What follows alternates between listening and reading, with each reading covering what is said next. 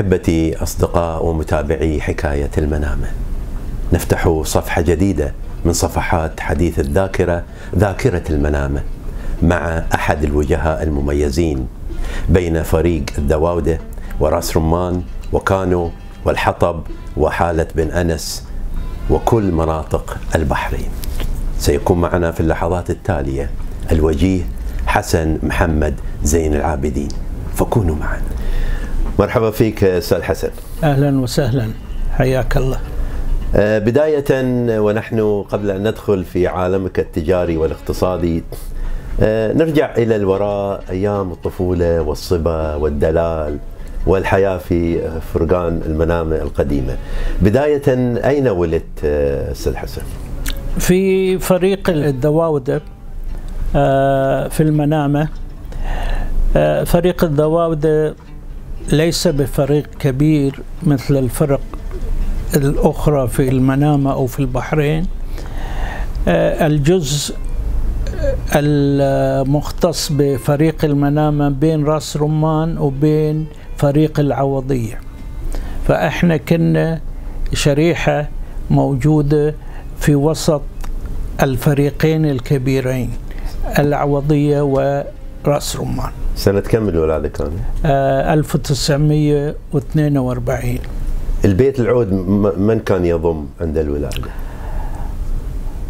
البيت العود كان يضم آه أم أخواني وعيال وزوجة عمي وهناك بيت صغير قريب أقل من ثلاث دقائق مشي بيت والدتي فالبيت الكبير هو البيت الكبير اللي كان في العائلتين من كان جيرانكم ذاك الوقت في الدواودة؟ والله كثيرين يعني ربما تخونني الذاكرة وما أتذكر كلهم لكن بيت بيت سبت ونوح بيت علي العياض الذواودي الذوادي وبيت شاهين الذواودي الذوادي وبيت كثير من البيوت يعني ما أتذكرهم وبيت حمد وموسى وكثيرين يعني.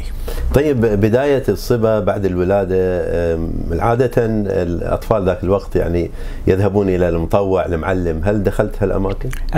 رحت فترة قليلة شو اسم المطوع تذكره؟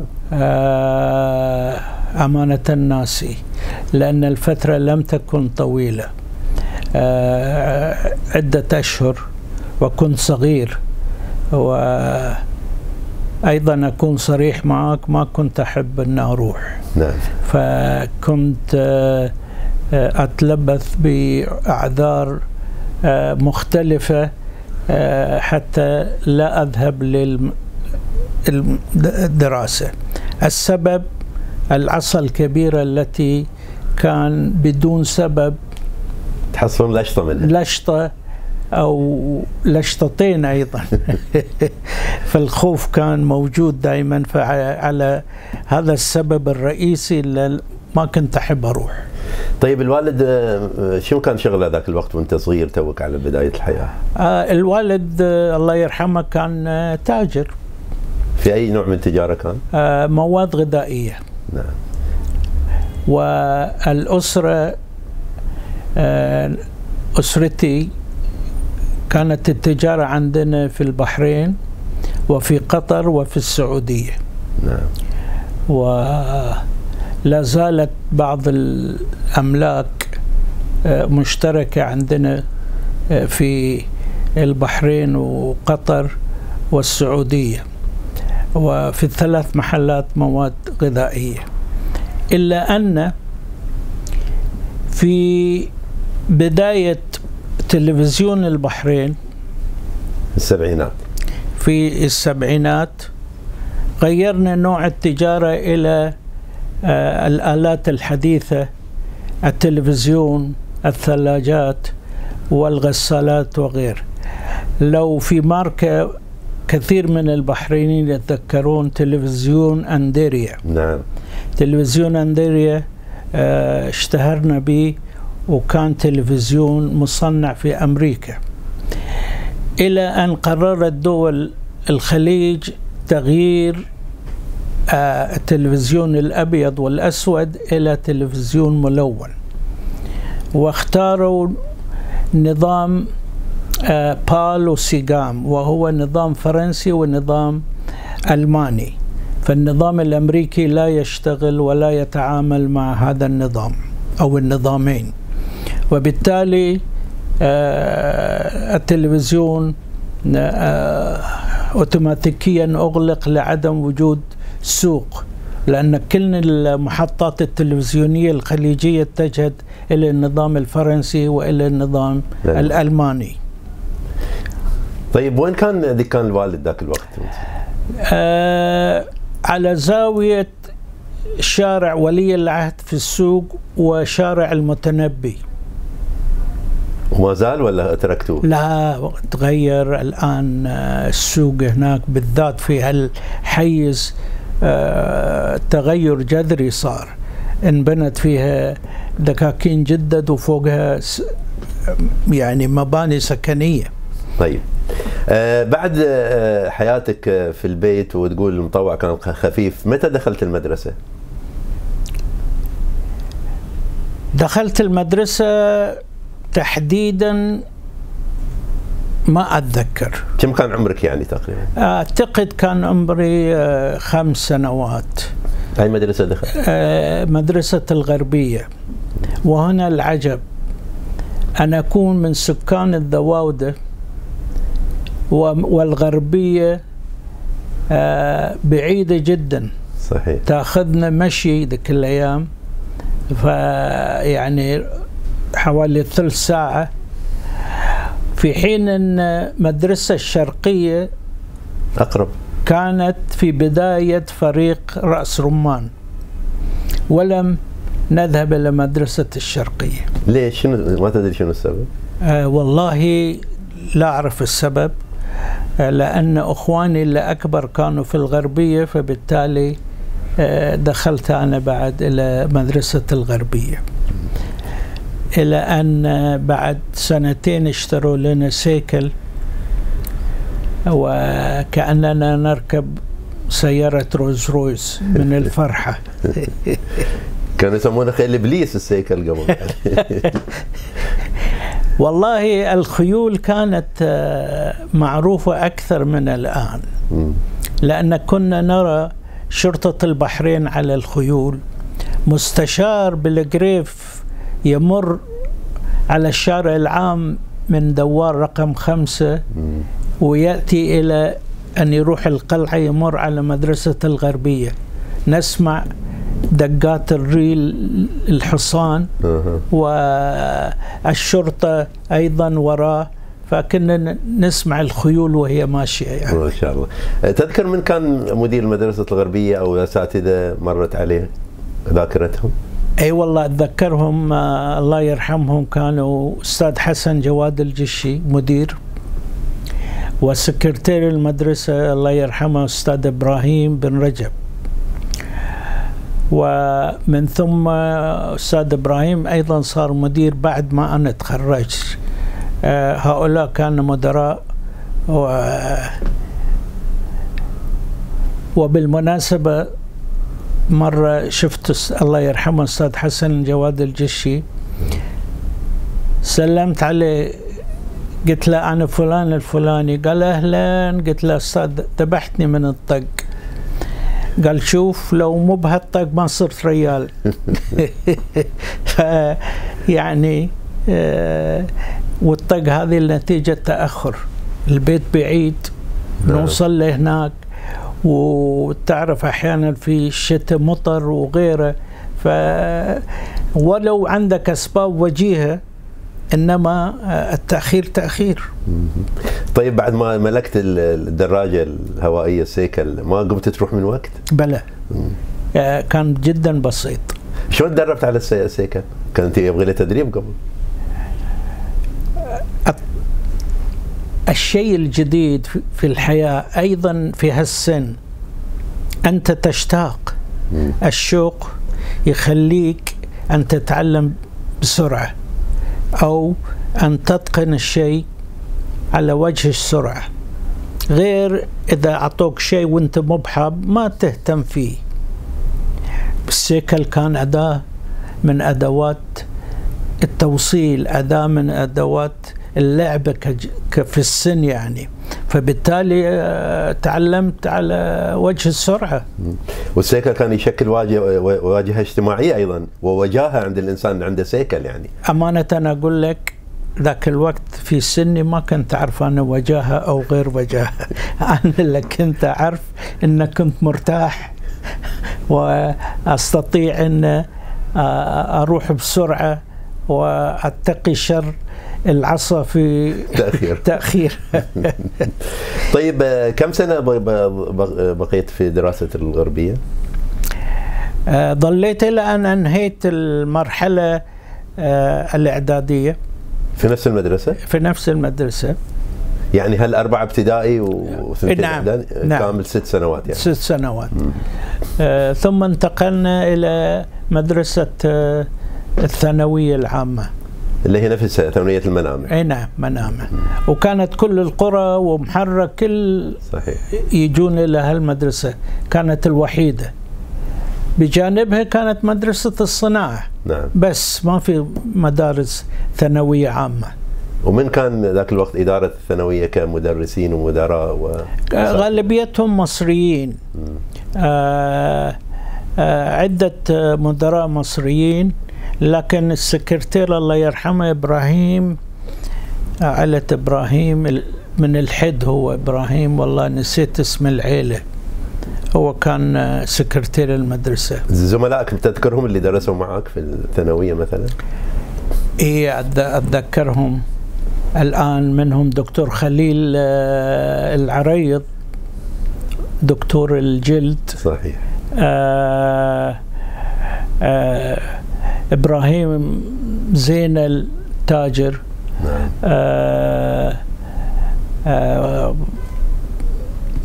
آه والله كثيرين يعني آه، أحب إن أذكر لك اللي في المجتمع يعني عندهم نوع من آه، التواجد يعني. دكتور عبد الجليل الكوهجي. أيضا دكتور هؤلاء كانوا يعني ما قاعد أتذكر كثير. من إخوانك ما في أحد درس معك أو توافق درسوا هم اخواني درسوا بس ما كانوا وياي أنا يعني ك من من إخوانك آه اللي درسوا معاي عبد القادر وابن عمي عبد الواحد. بس مو في الغربية مو في نفس الفترة؟ بلا في الغربية وفي الثانوية. كنتوا مع بعض. كنا مع بعض مش في صف هم أكبر مني سنا فكانوا في سبقوك يعني في, في صفوف أعلى. نعم. طيب بعد الثانوية آه، درست في الخارج ولا عملت؟ نعم درست في القاهرة. كملت الثانوية ودخلت كلية الاقتصاد وعلوم سياسية في جامعة القاهرة تخصص اقتصاد. سنة كم تتذكر؟ آه سنة آه 60 61 بدأت الدراسة. نعم. تخرجت 64 أو؟ تخرجت لا أنا رحت هناك أخذت الثانوية العامة بعدين تخرجت سنة 1967 آه يعني عدت الثانوية إذا هناك إيه يعني. إيه لا ما في ثانوية عامة إيه هني. ما يقبلون ها ما في ما يقبلون ما يقبل ما في. وكانت سنة النكبة. 67 67 كنت في مصر يعني بقيت كنت في مصر. و شقتي تطل على آه، مستشفى العسكري أم بابا ويوم العدوان أو يوم الحرب حزيران. إي حزيران علينا امتحانات آخر السنة وأنا كنت في الصف النهائي. وجدت صباحا الجنود يدخلون الخندق. إلى الآن لا إذاعة ولا تلفزيون أعلنوا أن بدأت الحرب. أنا شخصيا من كل يوم أطل على المستشفى أعرف أن الوضع طبيعي أو غير طبيعي فوجدت أن الوضع غير طبيعي. هنا أدركت بأن شيء ما حصل. آه، وبالتالي بعد ربع ساعة فتحت على الإذاعة أعلنوا إن الحرب قامت. وعطلت الدراسة لمدة آه، أسبوعين أو أكثر شوية لكن من خلصنا لم ننتظر آه، النتائج. أردنا أن نطلع لأن الظروف كانت صعبة. أيوه فرجعت البحرين. رجعت البحرين. ظروف كانت صعبة. طيب آه، أخوي حسن أبو غسان ندخل الآن في عالمك الذي بدأته في التجارة بعد تخرجكم ورجوعكم إلى البحرين. قلت لي بعد ال 67 بدأ هذا العالم. كيف بدأ؟ معك أنت الخطوة الأولى. طبعا الخطوة الأولى كوني ابن عائلة تجارية انضميت إلى تجارة العيلة. و كان الوالد موجود؟ موجود واشتغلت وياه. أيوة، اشتغلت وياه واخواني وعيال عمي لأن آه، كان المحل باسم نصر الله ومحمد زين العابدين. نعم. عمي نصر الله الأخ الأكبر وأبوي الصغير محمد. و أيضا حجزت ان أروح أكمل دراستي آه، الاقتصادية في إنجلترا وحجزت في London School of Economics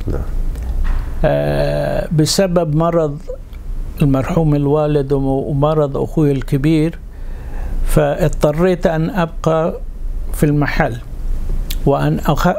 يعني آه،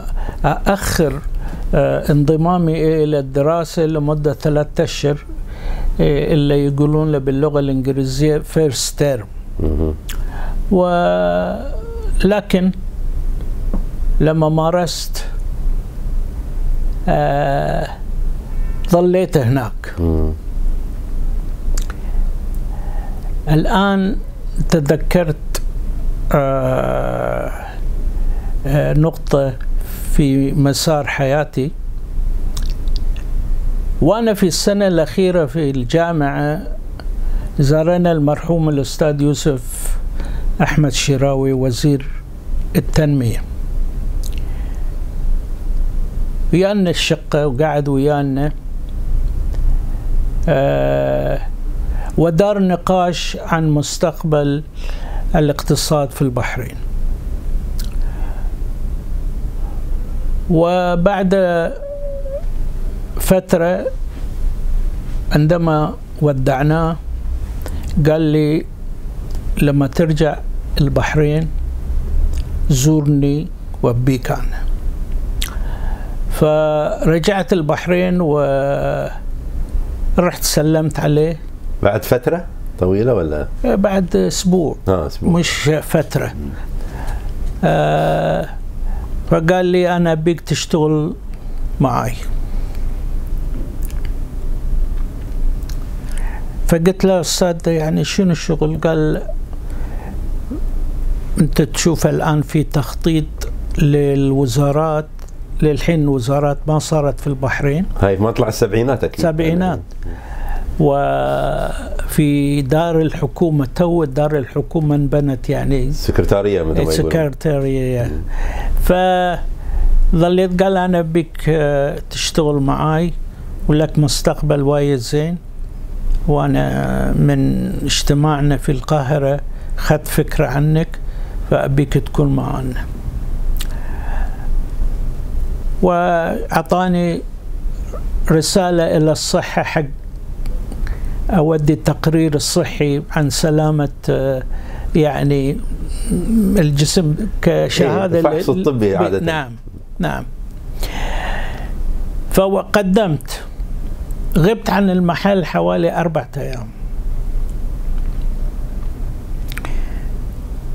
يعني الوالد قال لي أنا أربعة أيام الله يرحمه ما شفتك في المكتب. وينك؟ والله أعتقد أنا يبوني أشتغل في الحكومة.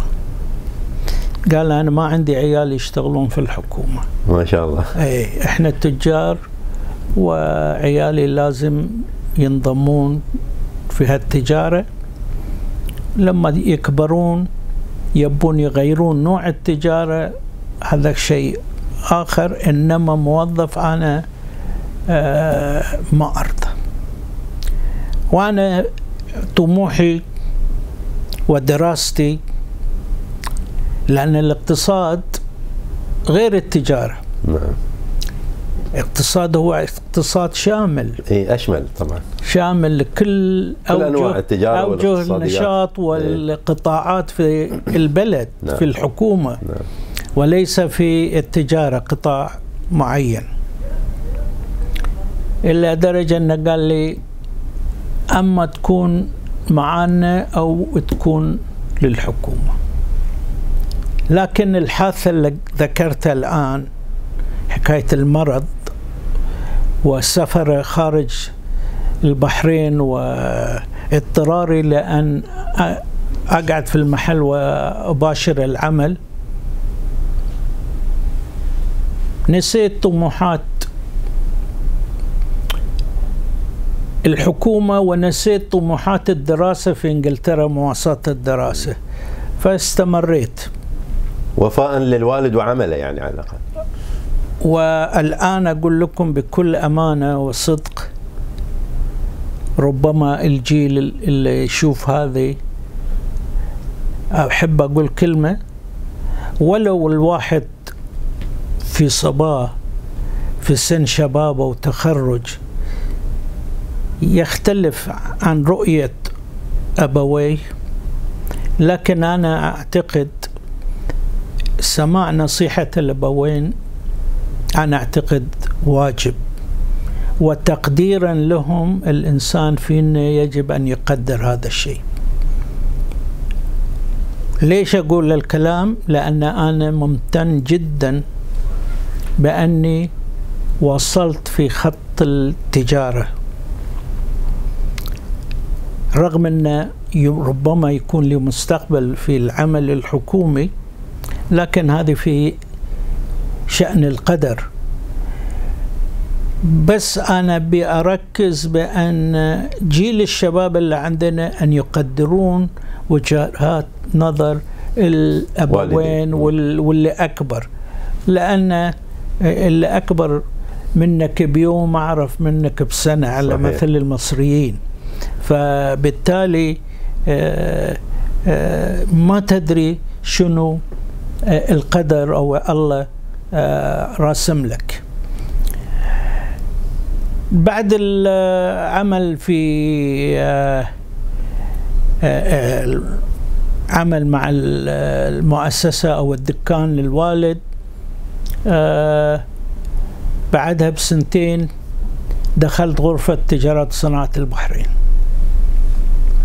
واشتركت في آه، عدة لجان يعني من أوائل من دخلوا الغرفة أنت يعني كان إيه. الجيل الأول يعني. جيل الجيل الأول ثم بعد سنتين من انضمامي لمجلس الإدارة آه، رشحت أن أكون رئيس لجنة عندنا لجنة في الغرفة يطلقون عليها الاقتصاد والتجارة.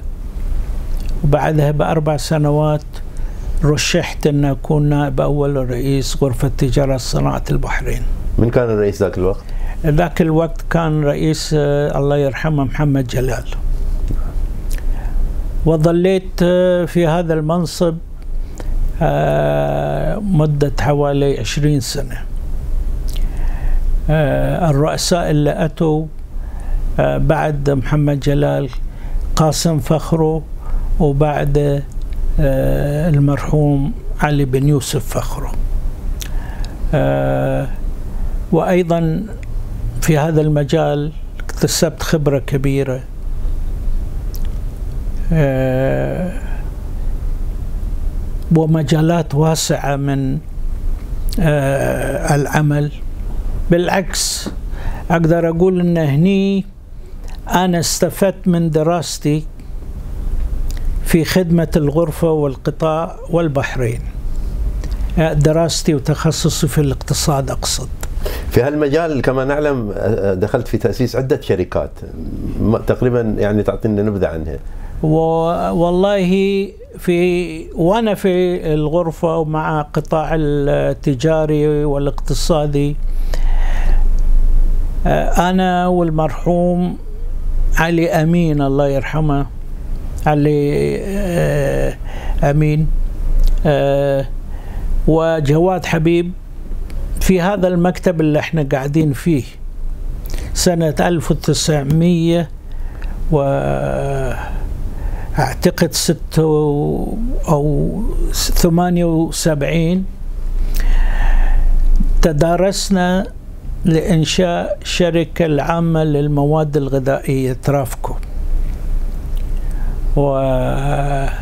وعملنا الدراسة الأولية أو جدوى من إنشاء هذه الشركة.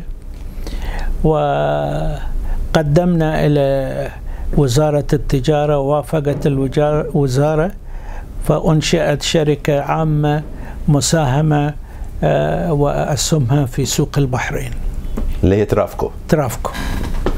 أيضا آه، أنا ويا مجموعة من التجار البحرينيين أنشأنا شركة البحرين للاستثمار. مجموع المساهمين كانوا حوالي 54 رجل أعمال. وعملنا في الشركة ولما جات الأزمة المالية في أواخر الثمانينات آه، اضطرينا أن نبيع الشركة إلى آه، التأمينات الاجتماعية. وكانت التأمينات الاجتماعية أحد الأعضاء معنا في الشركة. وأيضا في بداية الثمانينات الله يرحمه علي بن يوسف فخرو اتصل بي وقال لي تعال أنا بيك ورحت قال قاعد أنا أسس شركة تأمين بين البحرين والكويت. والجانب الكويتي خمس شركات مساهمة عامة كويتية في التأمين.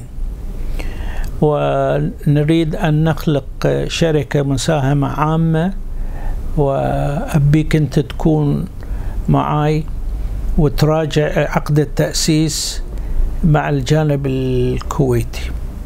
على أي حال آه، بلها التفاصيل أنشئت الشركة والحمد لله الآن تعد شركة من أكبر أو شركات التأمين في البحرين. مو هي اللي أخذت تأمين الجسر وال...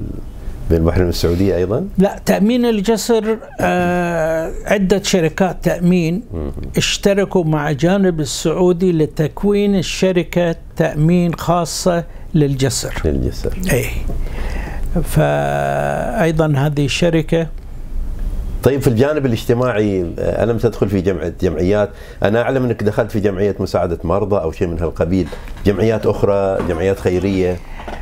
آه، أسسنا جمعية البحرين الخيرية.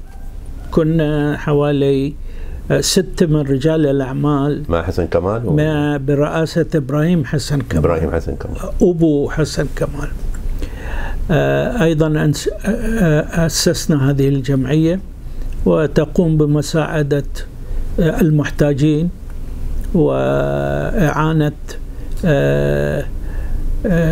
الذين في حاجة إلى مساعدة وليست فقط مادية أيضا مرضية سكنية آه، آه، أمور أخرى في حاجة إلى آه، مؤازرتهم.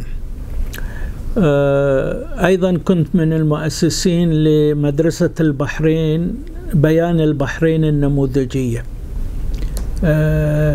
والحمد لله المدرسة ماشية و آه فوق 20 سنة إذا مو ب 30 سنة آه أو أكثر آه ماشية في هذه. هذه موجز لمسيرتي و إعطائي الخدمة للمجتمع. طيب المنامة ألم تنشئوا فيها شركة أو مدرسة أو مشروع معين؟ ولا لأن المنام صارت زحمة مثل ما يقولون فخرجتوا خارجها نتيجة للتطور.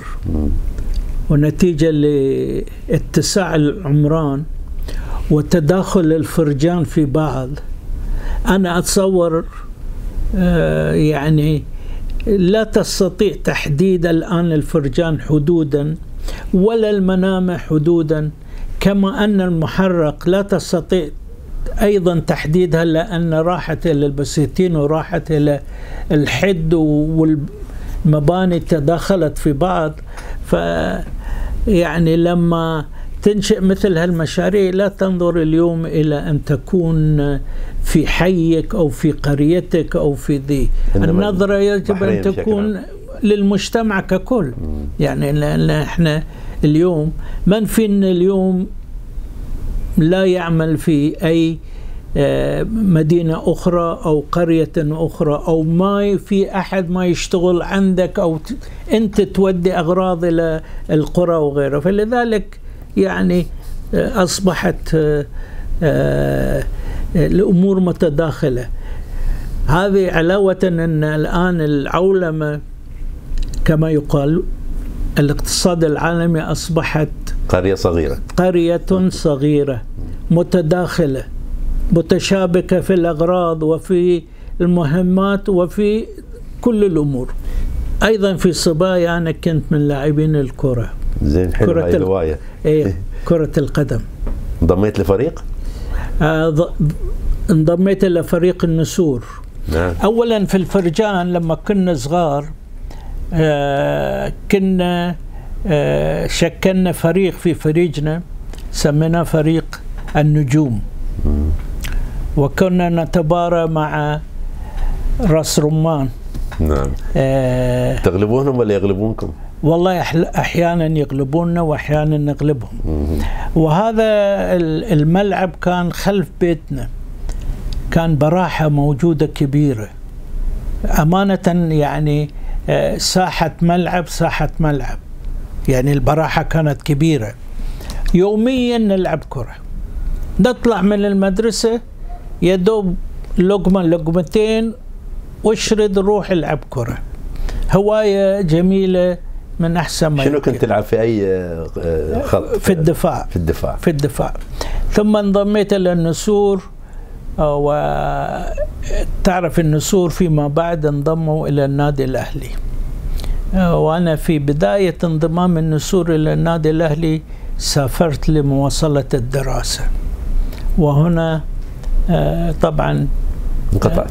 انقطعت عن ممارسة الرياضة. لكن إلى الآن غاوي الكرة وأشجع فرق واهتمامات عالمية أيضا و آه، في الليل لما تشوف مباراة لايف حي تقام. اليوم التلفزيون ينقل لك آه، آه، نقل حي تشوف مجريات اللعبة في أدق تفاصيلها أحسن من واحد قاعد في الملعب يشوف. أي فرق تشجع عالمية؟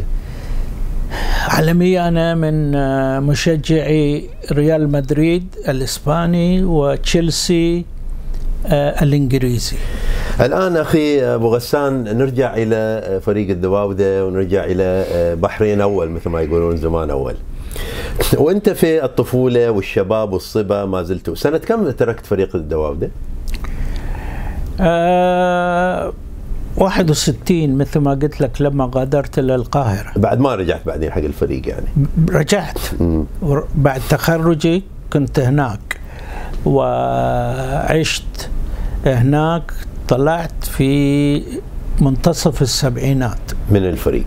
نعم. شنو اللي كان يميز فريق الذواودة في هذا العمر اللي انت عشت فيه؟ أنا أقول لك بكل أمانة وصدق الفريق كان كلهم محبة. الفريق كان كلهم متكاتفين. بيت الغني كان يعطي للفقراء المحتاجين بدون ما يدري عيال ومن في البيت الغني إن الكبير فيهم كان يعين هالبيوت. هذا هو الإحسان الإسلامي الصحيح وهو حديث نبوي معروف ما تعطيه اليد اليمنى اليسرى ما تعرف. أنا يعني بكل أمانة أقول يوم ما كان صحن يجيني من بيت أي بيت من بيت الدواد اللي بيتنا يوم عيد عندي طبخ غير آكل منه وأنا مستانس. هذه الأشياء الإنسانية اللي تأثر في وجدان الواحد هذا الشيء يجب إن نرجع له. مو باليوم أنا الحين رحت ل منطقة أخرى ما عندي علاقة ويا جاري. كنا نعيب على الحياة الغربية بأن الجار لا يعرف عن جار. أصبحنا نفس الشيء. شنو علاقتكم بفريق راس رمان؟ والفاضل بشمي الحطب وأنتم قريبين من بعضكم بعض. علاقتنا كنا نمر كل يوم على هذه الفرجان. برجع إلى الذواوده لكن جبت فريق كانو وفريق الحطب وغيره للمسلك إلى السوق لازم تمر على هالفرجان. يوميا كنا نمر. قبل لا نشتري سيارة ونذهب بالسيارة. كنا نروح مشي ربع ساعة. نعم. من الفريق إلى السوق ربع ساعة. ما في وايد سيارات توقف في الطريق نسميه الرستة. إيه. ها؟ إنك تطالع. لا ابدا تمشي وكل سهولة وتوصل عندك. عندك أصدقاء من هالفرقان كان؟ نعم. عندك أصدقاء من هالفرقان كلها اي اي عندنا عندنا بيت كانو بشمي من فاضل من طبعا بيت كانو و... آه يعني فيما بعد لما كبرت أنا. علاقة كثيرة وحميمة. بيت الشعلة بيت الحمد. بيت آه آه الحمد. دكانهم كان على الزاوية في شارع باب البحرين. و كنت أنظر لهم دائما و ان هم يبيعون السجاير. وكنت معجب بالسجاير أمانة. آه، وأنا صغير اوقف أطل على شكل وعلب السجاير. طبعا عقب تعرفت على الأخ آه، عبد النبي الشعلة وهو من بيت الحمد. فهد الحمد تعرفت عليه وكثيرين من بيتهم. فأقول لك يعني أرجع للنقطه إنه يعني الدواودة. الذواوده شنو كانوا مشهورين الدواودة كعمل ومهن؟ فريق الذواوده غالبيتهم كانوا في كهرباء تسليك. تسليك الكهرباء وتصليح الكهرباء. أي عطل عندك أي شيء كثير. لأن غالبيتهم كانوا يشتغلون في دائرة الكهرباء. لماذا؟ محطة البحرين كانت في راس رمان أول أول يمكن زمانات. وكون المحطة قريبة للدواوده وروحتهم إلى العمل هناك فبحكم هذه الصلة انضموا إلى الكهرباء. طبعا محطة راس رمان كانت تغذي البحرين. ثم انتقلت إلى الجفير. power house على قولتهم. power house كان power house موجود هناك.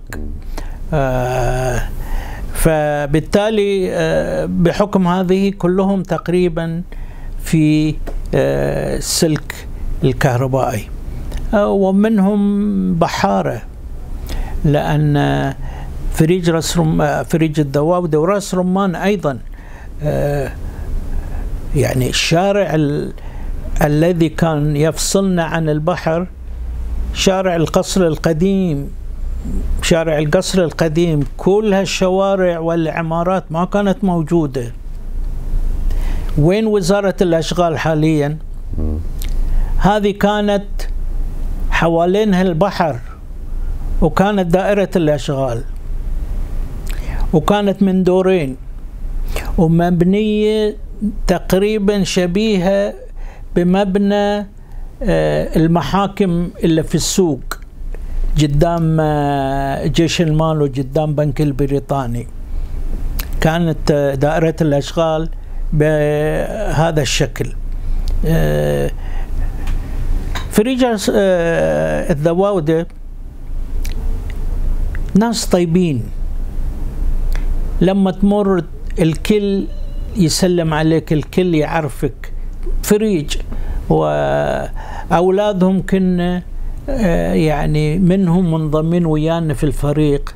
فكانت علاقتنا علاقة آه، يعني قوية. آه، الجانب الآخر بغض النظر عن الصراع الكروي ويا راس رمان إنما كنا أيضا أصدقاء بعضهم أصدقاء. بيت الخزاعي مثلا مجلسهم خزاعي بيت علي العرادي بيت عبد الرسول اللي هو مال اللؤلؤ والتجارة اللؤلؤ والذهب من البيوت الأخرى. دكتور حبيب كان لكم علاقة فيه؟ لا والله. حبيب أنا لما صار طبيب تعرفت عليه. قلت له والله أنا ما كنت أعرف إن أنت من رأس رمان أيضا. يعني ف... شو علاقتكم بحالة بن سوار وحالة بن أنس؟ كانوا قريبين من حالة بن سوار قريبة وليست بعيدة لكن مو قريبة جدا. آه، أتذكر آه، الله يرحمه الأخ توفى من قريب جاسم بن سوار. آه، شخصية معروفة كانت. و بدر بن سوار وأخ اسمه محمد كانوا بعيدين عنا وليس قريبين لأنهم يروحون جريب الحورة. نعم.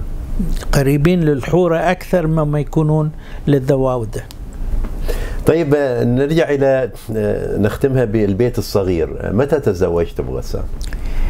تزوجت طويل العمر سنة 1972 من أي بيت؟ من أي عائلة؟ آه، من عائلة آه، بيت شيخ إسحاق. نعم. إلا في رأس رمان. والحمد لله كونت لي أسرة. ممن تتكون الأسرة؟ أسرة من آه، ولدين وثلاث بنات. غسان ومن؟ غسان وسارة منى وريم وفيصل والنعم الله يحفظك الله يخليك يسلمك. آه بهذا الشكل آه هل كان الأسرة دور مهم في حياتك التجارية والاقتصادية؟ كزوجة كأبناء؟ والله سؤال جدا وجيه وفي الصميم. يعني العائلة والأسرة طبعا أصبحوا الجزء الأكبر في حياتي. هذه الشركة وغيرها من الشركة لا لا بجيك عن الشركة لدرجة أن آه اثنين من شركائي في هذه الشركة والشركات الأخرى آه كنا أصدقاء. من هم؟ وهم واحد الله يرحمه ينقال له عبد العزيز إسحاق عبد الرحمن أخو زوجتي. والثاني يوسف محمد نجيبي أيضا ابن أخت زوجتي. كنا أصدقاء هم من بيوت التجار وكذلك أنا. أسسنا ثلاث شركات. ولم نعتني في هذه الشركات. كل واحد فينا الاثنين هم آه، فتحوا محل في دبي واستقروا في دبي. وأنا طبعا بحكم ما سردت الموضوع مسبقا آه، كنت عند المرحوم الوالد. إلى أن تزوجت آه، فاتفقنا ليش ما نسوي ثلاث شركات كل واحد بتسميته في البداية اشترك معنا مهندس إنجليزي. هذا المهندس كان مصمم للعمارات. فسميناه شركة سيسكون بناء على System Design and Construction Company اختصارا سيسكون بعد عملنا بسنة حصلنا على وكالة مسوبيشي الله يرحمه الوزير حبيب قاسم قال لي حسن ما يصير وكالة ومعك شريك أجنبي. نعم. قلت له أرجوك مهلني سنة بعدل الوضع القانوني وساعدها. بحكم عملي وعمل الغرفة والسفريات الكثيرة مأمورية الغرفة طافت سنة وأنا نسيت. عند التجديد السنة القادمة قال لي ما سويت شيء خلاص بشطب أنا. قلت له أرجوك خذ عهد. خلال ثلاثة أشهر بخلص لك الموضوع. جيت عند الإنجليزي وقلت له القانون ما يسمح أن يكون عندنا وكالة أجنبية وأنت شريك أجنبي. الناحية الفنية أيضا إحنا لا نفهم لا ندري عنه أي شيء. الرسومات والديزاينات وكل هذه أنت أخذ الناحية الفنية والناحية التجارية إحنا. حبية بنفصل الشركة الاثنين أنت تروح والله يوافقك وإحنا نروح الله يوفقنا عملنا ذلك سجلنا الشركة وذي. هذه أحد أسباب الزواج الشركة وصلة أو تأثير الزواج على الناحية العملية. طبعا اثنين الشركاء الله يرحمهم توفوا. بالنسبة للأسرة وتأثيرها طيب المرأة بشكل عام سواء كانت زوجة أو أم أو حتى أخت أو حتى جيران وأصدقاء ألم يكن لها تأثير أو دور في حياتك كعنوان؟ المرأة لها دور كبير. دور تدفعك إنك تجي العمل وأنت مرتاح البال وتعطيك قوة دفع لتنظر لأمور الشركة وأمور الحياة. ثم الم- أجمل شيء الله خلقه في الوجود المرأة. المرأة هي كزهرة أمانة. هذا ليس غزلا إنما الواقع. ثم المرأة جزء المكمل للرجل في المجتمع. لا تستطيع تقول هذه مرة لا تقدر تسوي كذي ولا تقول إن هذا الرجل لا يستطيع أن يعمل ذاك. الاثنين يكملون بعض. وبالتأكيد أم غسان كانت سند لك في هذه الحياة وفي هذه أنا قلت السند الكبير إن أسسنا الشركات أسست الشركة بين الاثنين من جماعتها. من. لكن كنا أصدقاء من أيام المدرسة مع بعض. سبحان الله. كنا أصدقاء بدون أي شيء. ثم حدث آم، ب- ب- آه، قدرة قادر. هاي المصادفات اللطيفة والطيبة. الطيبة. فالله بارك. نعم. ثم طيب. ثم في الشراكة في نقطة مهمة أحب نعم. أركز عليها الشراكة بركة طالما الشركاء نيتهم صافية ويا بعض إذا النية شانت بين الشركاء فالبركة تروح ولذلك كل ما الشركة استقوت رأس مالا وشركاء كلما كانت أقوى في العمل لأن اليوم العمل الجماعي هو العمل الناجح العمل الفردي لا يستطيع في ضمن المنافسة في ظل النفقات الباهظة لإنشاء أي مشروع إلا بالتكاثر. طيب أبو غسان في نهاية آه، حوارنا وأنت من حواري المنامة وفي هذا العمر وبعد هذا النجاح الاقتصادي الكبير ماذا تقول للشباب الآن؟ الشباب لا شك أنهم عماد المجتمع ومستقبل البلد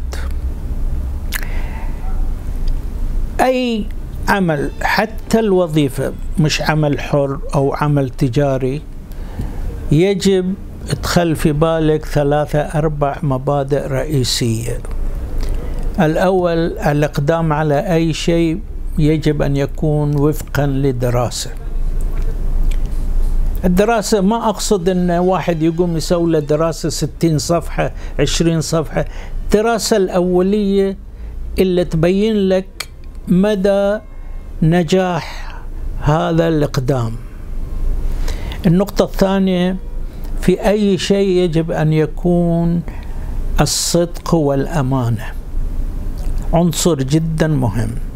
عنصر لا تستهين به في أي عمل لأن هذا راح يقيمك وهذا راح يرفع من شأنك في الوظيفة في العمل أيضا وفي التجارة.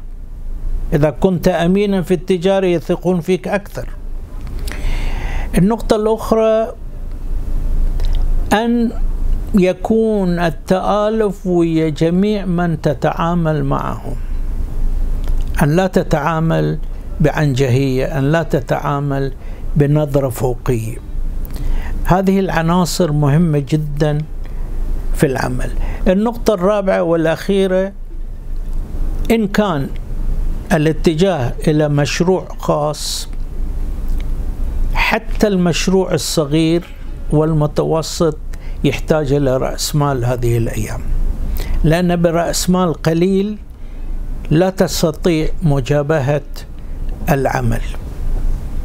بالمثابرة وبالاجتهاد وبرأس مال معقول تستطيع إنجاز الكثير إنك أنت تصبر وتثابر وتواصل وتدوم على اجتهادك. حسن محمد زين العابدين حكاية المنامة تقول لك شكرا.